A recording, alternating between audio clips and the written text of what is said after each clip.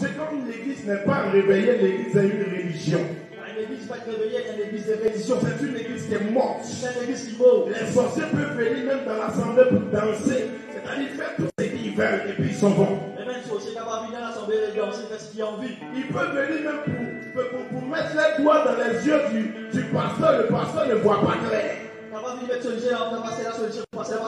Mais quand l'église se réveille, Et dans l'église réveille. s'il y a un sorcier le détecte, C'est aussi assis là.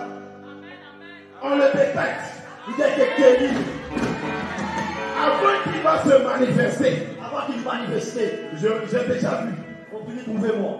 Ce que mon Bon, avant que le diable fasse ses simagrées, avant qu'il t'appelle sur un cinéma, le don de voyance en moi ton voyance sur moi, est déjà activé. il est désactivé là. Quand l'église se réveille, De nous ne sommes pas là pour prêcher seulement l'évangile de Jésus est mort, il est ressuscité, puis tout le monde va s'asseoir à la maison. Et puis les gens souffrent, les gens sont possédés. Mais où est la puissance de la résurrection? C'est dans l'église de réveil.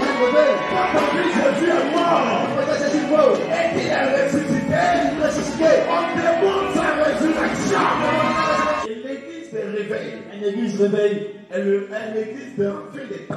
L'apôtre Paul a dit quoi? L'apôtre Il dit nous ne sommes pas là pour prêcher des, des- des discours persuasifs. Mais nous sommes venus pour démontrer la puissance de Dieu. Il y a une grande différence entre l'appel et un bip. Quand Dieu appelle un lois. un vrai authentique, vrai ouais authentique. Dieu ne fait pas bip. On dit, il pas faire Il prend le soin de pour l'appeler. Même lorsqu'il ne veut pas répondre à répondre à il continue de.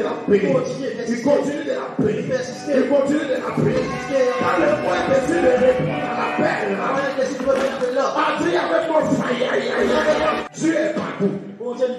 Mais il ne se manifeste pas partout.